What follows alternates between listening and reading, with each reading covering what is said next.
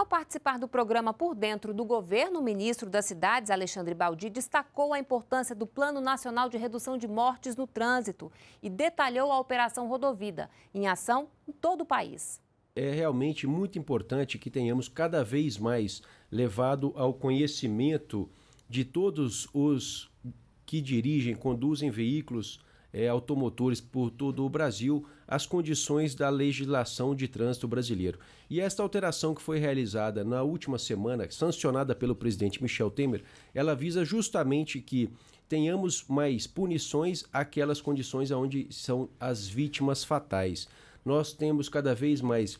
criado programas, operações para conscientizar os que dirigem, que conduzem esses veículos pelo trânsito e essa lei que está em vigor e que nos próximos dias, né, com seu prazo de que, quarentena, que entrará em vigor a população que conduz os seus veículos, realmente dará aí uma condição de punição mais forte para as, os condutores que gerarem vítimas em acidentes fatais. A Operação Rodovida ela visa, visa conscientizar os motoristas para que nós tenhamos a redução do nível de acidentes. E com certeza a legislação que foi colocada, sancionada pelo presidente da República, Michel Temer, também contribui para que haja assim uma conscientização que é o que precisamos para dar cada vez mais uma noção àqueles que estarão andando pelas vias em todo o Brasil e também as punibilidades cada vez mais restritivas, cada vez mais fortes para que os motoristas entendam que podem se divertir, podem dirigir, tenham responsabilidade e, fundamentalmente, se beber,